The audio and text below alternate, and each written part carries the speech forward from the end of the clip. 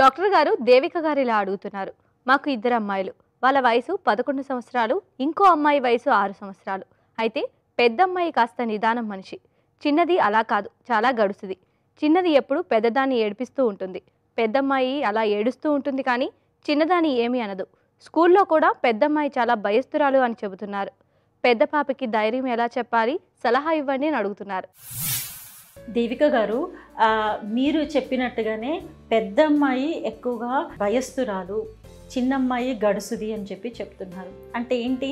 మనము అంటే ప్రతి ఒక్క ఇంట్లో కూడా అందరు పిల్లలు ఒకేలాగా ఉండరు. పెద్దవాళ్ళు ఒకలాగా ఉండరు చిన్నవాళ్ళు కూడా ఒకలాగా ఉంటారు. అంటే దీనికి ఒక్కొక్కసారి మనకి ఏమవుతుందంటే మన పేరెంట్స్లోనే పిల్లల వాళ్ళ పెంపకంలో కూడా ఒక్కొక్కసారి దీనికి ధైర్యమే కదా అని చెప్పి మనం ఇండిపెండెంట్గా వదిలేయటం జరుగుతుంది. అండ్ ఎవరైతే అసలు ఏది పర్ఫామ్ చేయలేకపోతారో మనం అలాగే వాళ్ళకి తగినట్టుగానే అంటే అలాగే మనం ప్రవర్తించడం జరుగుతుంది. సో అందుకని మనం ఏం చేయాలంటే ఎప్పుడైతే పిల్లల్లో లోపాలు కనపడతాయో అలాంటి పిల్లలకి స్ట్రెంగ్తెన్ చేయాల్సిన అవసరం ఉంటుంది. ఆ స్ట్రెంగ్తెన్ చేయాలి అని అంటే ఏజ్ అప్రోప్రియేట్ టాయ్స్ ఇవ్వడం కానీ లేకపోతే ఏజ్ అప్రోప్రియేట్ లర్నింగ్ ఇవ్వటం కానీ అలాంటి సమస్యలు వచ్చినప్పుడు ఎలా వాళ్ళు ఎదుర్కోవాలి అని చెప్పి వాళ్ళతో కమ్యూనికేషన్ అనేది ఒక ఫ్రెండ్లీ కమ్యూనికేషన్ అనేది పెంచుకోవాల్సిన అవసరం ఉంటుంది.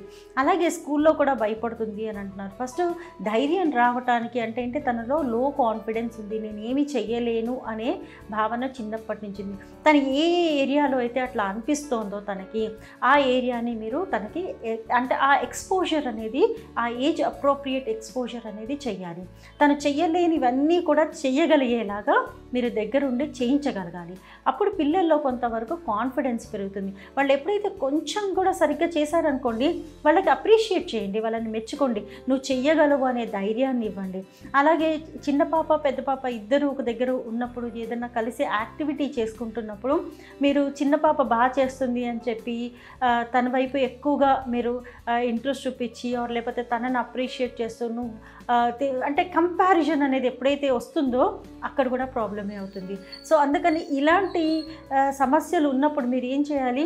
ఆల్వేస్ పెద్ద పాపకి మీరు అలాంటి యాక్టివిటీస్ అండ్ వాళ్ళ చెల్లెలు కూడా అలా మాట్లాడుతున్నప్పుడు అలా మాట్లాడకూడదు అని చెప్పటము వాళ్ళిద్దరిని సమపాలంగా అంటే ఏ వచ్చినా కూడా చిన్న యాక్టివిటీ కాదండి చదువులో కాదు లేకపోతే ఏ సమస్యలో కూడా మీరు వాళ్ళిద్దరిని ఒకే రకంగా చూడగలిగితే వాళ్ళిద్దరూ అంటే ఒకరినొకరు దూషించుకోవడం కానీ ఆర్ లేకపోతే అక్క నీకు రాదులే అని చెప్పి ఊరికి అలా అనేసేయడం కానీ ఇలాంటివన్నీ జరగకుండా ఉంటాయి.